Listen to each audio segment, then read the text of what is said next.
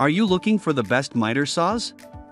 In this video we will look at some of the 5 best miter saws on the market. Before we get started with our video, we have included links in the description. So make sure you check those out to see which one is in your budget range. Starting at number 1. Bosch Power Tools Corded Dual Bevel Sliding Miter Saw. The Bosch Power Tools GCM12SD 12-inch miter saw comes with a sliding arm that allows the user to cut boards up to 14 inches wide. The saw comes with pull-out material supports on both sides to stabilize boards up to 40 inches long, and it cuts compound bevels in both directions. The clear saw guard on the Bosch miter saw is designed not to obstruct the user's view of the cut throughout the entire process. The trigger handle features an ergonomic grip that can be used by either right-handed or left-handed users just as comfortably, and it features a padded non-slip grip. Fences are adjustable, and the miter scale numbers are etched into stainless steel for durability. During testing, we found that the Bosch saw truly does belong at the top of this list. First, it has a zero clearance slide arm that can sit up against a wall if necessary. The arm is also super smooth for making accurate cuts, also, there wasn't any assembly to deal with, and there are lots of additional references for roof rafters and valley cuts built in. The dust collection was outstanding, and the motor is super powerful. The only qualms anyone might find with this saw is that it's a little heavy for carrying around the shop, and there aren't any lasers or lights. At number 2. DeWalt 12-inch miter saw 15 amp single bevel. For around the home trimming and crosscutting, the DeWalt 12-inch single compound miter saw has all the power and precision necessary without a large price tag. It cuts boards up to 8 inches wide and cuts bevels in one direction. It comes with a slide-out fence that extends to help support the board being cut. For safety, the DeWalt saw also features a mechanism that automatically locks the spring arm in the down position unless it's manually unlocked with a button on the back. Testing revealed few bells or whistles, as DeWalt chose to focus on accuracy and power, of which it has plenty, over features. We like how light this saw is, especially compared to the much heavier sliders. The hold-down arm used to lock wood in place is awkward, and the single bevel does limit this saw's capability, but the locking detents for the blade angle are some of the best in the test. The quality of the saw definitely exceeds the price. At number 3. Craftsman V20 7 and a quarter inch sliding miter saw kit. The most significant benefit of the Craftsman V20 is its small footprint and lightweight design. Also, the ability to use it even when electricity isn't available is a plus.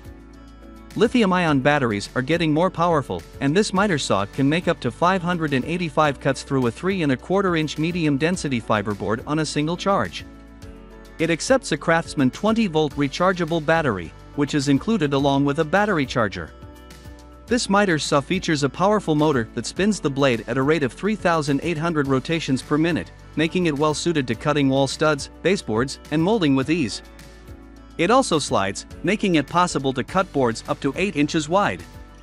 We weren't exactly sure what we'd find with the Craftsman V20 saw, mainly due to its weight and the large number of plastic pieces. But it was easy to put together, it cut well, and it was shockingly quiet. We could see using this saw for projects like flooring or trim work, though it did handle the construction lumber. Our only real qualms were the plastic and the single bevel action, rather than dual. At number 4. Makita LSO 815F Slide Compound Miter Saw. For woodworkers looking for a miter saw for the workshop or to take on a job site, this Makita tool doesn't disappoint. It cuts boards up to 12 inches wide, and it features pull-out material stabilizers to support boards when cutting. Weighing in at only 31 pounds, this miter saw is easy to transport, and it bolts to the work table for stability. The Makita saw comes with a dust collection port, and for added safety it features a trigger brake that stops the blade from spinning when the user releases the trigger. It also comes with a soft start that reduces movement and increases accuracy. The saw also cuts bevels in both directions, we like this saw's smaller blade as it appears not to deflect, meaning to bend or misshapen while cutting, like a 12-inch saw might. The motor was powerful enough for a smaller saw, but the cut capacity was outstanding. The soft start is a little rough, giving the saw a bit of a chattery feeling until the blade speeds up. Our other complaint is that the blade will not tilt to the right, limiting the saw's capability a bit. At number 5. Makita 10-inch dual bevel sliding miter saw with laser. Anyone who's short on workspace but still wants maximum cut capacity may want to check out the LS1019L from Makita. This saw features a 10-inch blade, a dual compound bevel action, and a laser cut line for accurate cuts. The 15-amp motor has plenty of power and spins at 3200 rpms for cutting a variety of wood materials. This saw has specially designed rails that come toward the user, allowing this saw to be positioned closer to a wall.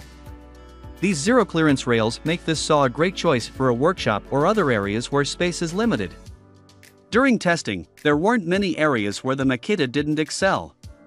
The zero clearance arm and its action were excellent, and the saw had plenty of power. Also, the laser helps line up the cut, and the dust collection is top notch.